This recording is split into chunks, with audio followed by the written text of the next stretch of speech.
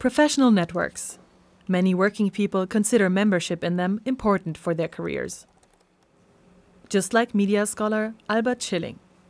Ich sehe es bei meinen Kollegen und bei meinen Chefs, die sind halt alle I see it with my colleagues and bosses. They're all members of Xing or LinkedIn, and I feel that it's necessary for your career or your professional life to register there, to present yourself and get in touch with colleagues and business partners. Professional networks like Xing or LinkedIn give their users access to contacts, job offers, and information. By doing so, the networks promise success in one's job. Scientist Sonja Utz from the Leibniz Institute for Wissensmedien in Tübingen researches whether the network's promise is being kept. Okay, so today we are talking about information benefits of social media. Ja, das Besondere an der A specific feature of our research is that we focus on the professional social networks. Do they help me in my profession? Can I gain an edge in knowledge? These questions make professional networks like Xing in Germany or LinkedIn internationally more interesting. nochmal viel interessanter. Hi, herzlich willkommen zu unserer Studie. The research group is conducting a longitudinal study with about 2,000 people in employment. In regular intervals, participants answer questions about their social media usage and their successes at work. They use an online questionnaire.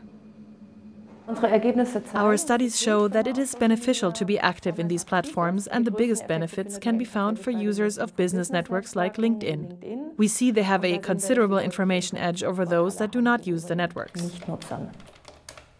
Nicht-Nutzern. That's how it worked for Annette Döringer. Ja, hallo Frau Schmidt, Döringer hier von der Firma. The project manager has been working for a textile supplier for over a year. Ich habe meinen jetzigen Job eigentlich erst durch Xing I got my current job by using Xing because I could break the ice with the personnel manager by talking to her on Xing. I could then send my application directly to her. So I managed to enter the workforce by way of Xing. Berufseinstieg eigentlich mit Hilfe von Xing geschafft. Es ist einfach eine große Hilfe im Alltag, weil man eben It kind of helps you in daily life because with a couple of clicks you get access to a huge selection of events, workshops, expert articles, and contacts from your field.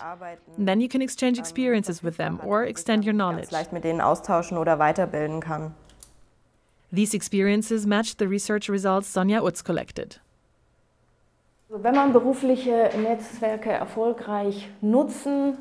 If you want to use professional networks successfully, you should, firstly, log in on a regular basis.